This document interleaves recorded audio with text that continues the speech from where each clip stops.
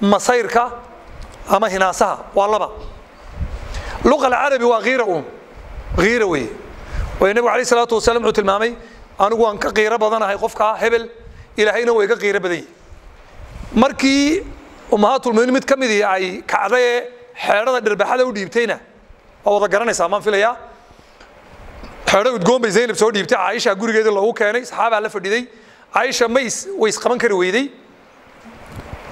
way ku dhufatay xeedhada waa kala jabtay raashinkii rasuulku soo ururiyey calayh salaatu wasalaam waa la iska cunay xeedhadii bedka qabtayna waa lagu cunay muxuu ku yidhi khaarat ummukum hooyadin way yaro kacday buu yidhi maha in lagu ceebsado waa shay ay xaq u leeyihiin dumarku xaqiiqadooduna waxa ugu dambeeyana waa laba arrimoodun markay kiiradu dhacdo iyagu ma- sii foga waa ifur ama gabadha fur labadaba reeraa dumaya labada reer ba in la badbaadiyana waa muhiim.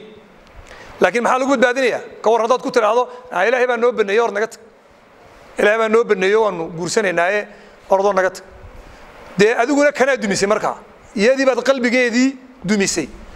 Qadarku wuxuu u baahan yahay in qadarka la tacsiyeeyu u baahan yahay. Marka qof dhintaba waa qadar ilahay soo maaha. Haddana reerka waynu tacsiyeynaa. Gabadhan qadar baa ku dhacay waa lala guursaday baa laga yaabaa way kacday haddaad ku tidhahda gidaarka madaxa ku dhufo.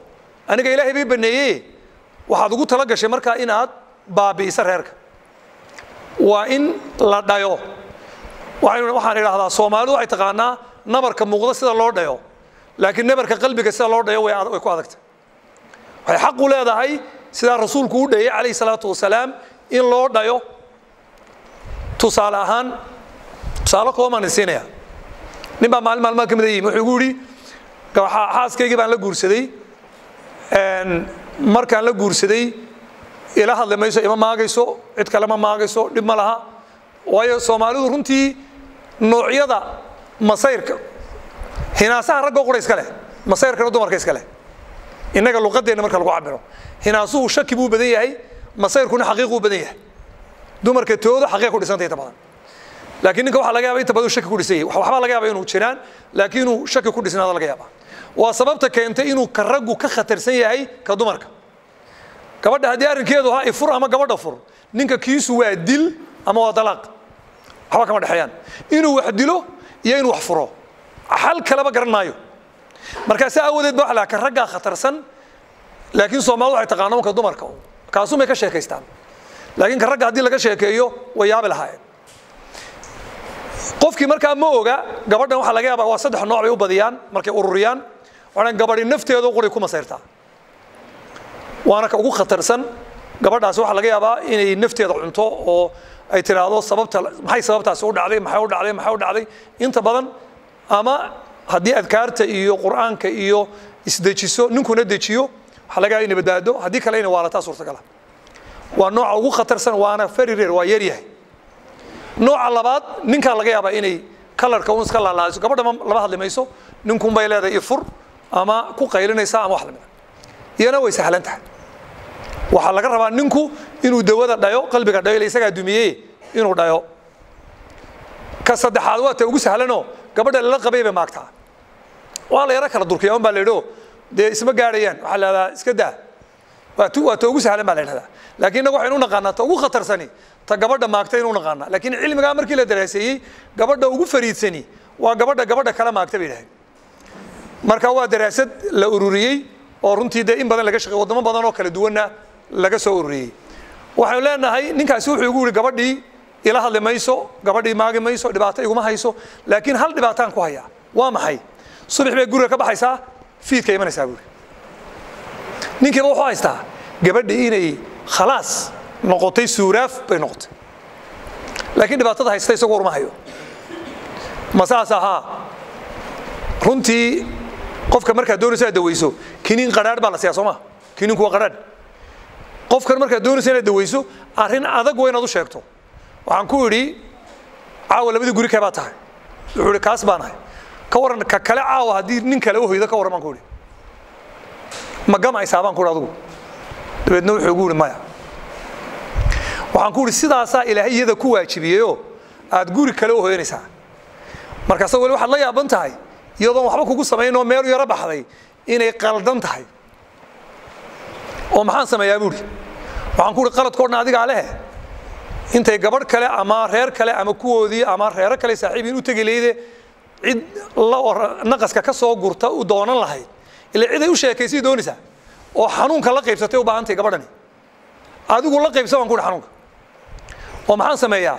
Dee soo ma oyeysa baan gabadhaad waa oyeysaa baan ku warhaysaa guriga markaad ka baxdo miyaad og tahay baan ku ina oydo oo markaad guriga timaaddo una inta ilmada iska biiso weliba adeeg soo dhawayso wuu yaabay maxaan yeelaa buu la oy baan ku adugu adigu iyada la oy ilaa adaa ka ohiye la oy markaad la oydo bal waxaad tijaabisaa intay ku dawowdo waxaynu dhahaynaa ma nabarkii qalbigaynu dhahaynaa maaha kii dusha soomaaliu taqaanay. Ninkii waa yahay laba wiig markuu maqnaa baanu kulannay. Wuxuu igu yidhi maalintii baa ugu dambaysay guriga ka baxda gabadheedu guriga bay ii joogtaa qofka wacayna ma jiro. Marka arrintaasi waa in la dareemo waxyaabaha ilaahay subxaana wa tacaala waajibiyey. Dawadiisana waa in la doono weye marka te ragga ayaa ugu daran saynu tilmaannay iyaduna waxay u baahan tahay lamaanihiisu inuu qanciyo. Waxaa la mida bay idhaahdeen gabadha aan nin lala gabadha la qabine masayrtaa gabadha iyadoon gabadha la qabin masayrtaa waxay la mid tahay nin masayray wax lagu qanciyo lama garanayo. Maantaba ugu dhaaranayna wallahi ma qaba gabadhna wallahi wallun baa ka dhammaanayo. Wax alla wuxuu ku qanciyana ma garanayo.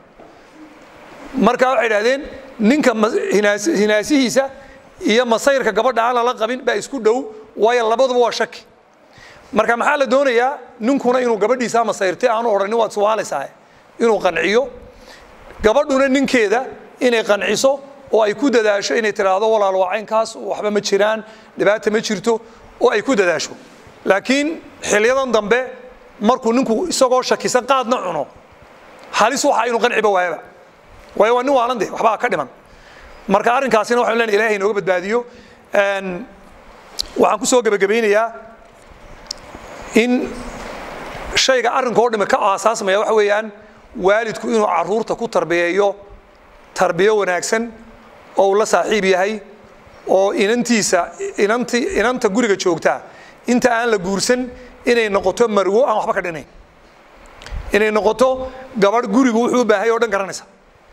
Waayo waxay la saaxiib tahay hooyadeed waxay la saaxiib tahay aabbaheed waa arrin very difficult ah inay inantu aabbaheed la sir noqoto. Hadduuse isagu la sir noqdo way la noqonaysaa inantaa ka dhow inanka. Waa inuu inanku noqdo mid hooyada iyo aabbadaba la saaxiiba oo la tashada inantu ninka guursanaya haddii hooyada iyo aabbaa kala tashan weydo oy la saaxiib noqon weydo waxaa la talin doontaa ina yaroo aan caqli ku dhaamin. Dabeetna waxaa guursan doona ina yaroon isaguna caqli ku dhaamin. Dabeedna intay lix bilood ay joogaan bay soo kala yaaci laakiin haddaad adigu la taliyaha koowaad guriga ka noqoto aabba iyo hooyaba reerkaas wuxuu noqon doonaa reer wanaagsan oo dhisnaada markay isguursadaanna taladii wanaagsaneed yaan lagala hadhin halkaasay wax ka khaldan yihiin toosi.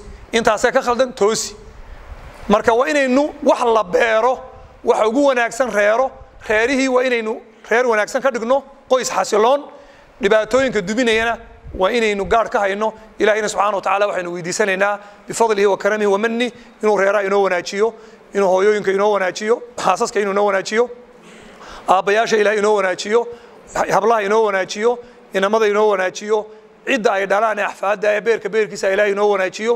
Ilahi baynu subxaana wa tacaala weydiisanaynaa nolol xasiloon oo degan ilahi subxaana wa tacaala inuu reeraha inooga dhigo. Wasali allahuma calaa muxamedin wacala aalihi wa saxbihi ajmaciin